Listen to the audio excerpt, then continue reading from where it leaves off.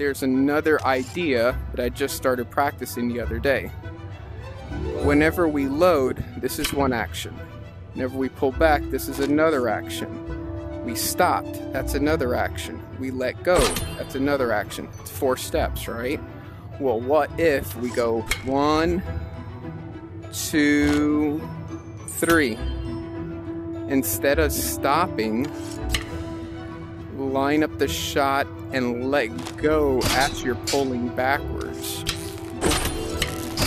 Rather than pull back, line up the shot, let go, pull back, line up the shot, let go. You let go mid pull.